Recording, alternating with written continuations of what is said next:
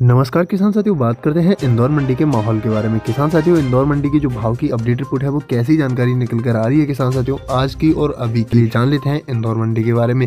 किसान साथियों, सुबह सुबह की जो अपडेट है, रिपोर्ट है, हमारे पास अवेलेबल होकर आ चुकी है इंदौर मंडी से हर एक जानकारी, हर एक अपडेट मैं आपको इस वीडियो में बताऊँगा। अनुरोध आपसे बस इतना हमारा जल्दी से जल्दी चैनल को सब्सक्राइब करें, बेल आइकन को प्रेस कर दें, ताकि आगे आने वाले समय में हम जो भी वीडियो अपलोड करेंगे, उसका नोटिफिकेशन आपके पास बहुत ही जल्द पहुँच जाएगा। तो चलिए किसान मित्रों, अब मैं आपको इस वीडियो में सही और सटीक जानकारी के द्वारा बताऊँगा। जैसे किसान साथियों बात करें इंदौर मंडी में आवक की, सुबह सुबह प्याज की जो आवक है इंदौर मंडी में कितनी देखने को मिली तो मैं आपको बता दूँ किसान साथियों, साठ से पैंसठ हज़ार कट्टे की आवक अभी हो चुकी है इंदौर मंडी में। अगर माहौल की बात करें और कल की अगर नीलामी रिपोर्ट की बात करें तो इक्कीस सौ हाइएस्ट बिकता हुआ नज़र आता है। दो हज़ार से लेकर इक्कीस की रेंज में जो मंडी है हाइएस्ट बिकती हुई नज़र आई थी किसान साथियों। अगर आज की बात करें तो नीलामी रिपोर्ट अभी नहीं हुई है। ग्यारह बजे मैं आपको नीलामी रिपोर्ट बताऊँगा, लेकिन मंडी में काफ़ी उत्साह देखने को मिल रहा है, उछाल और तेज़ी आ सकती है। किसान हूँ।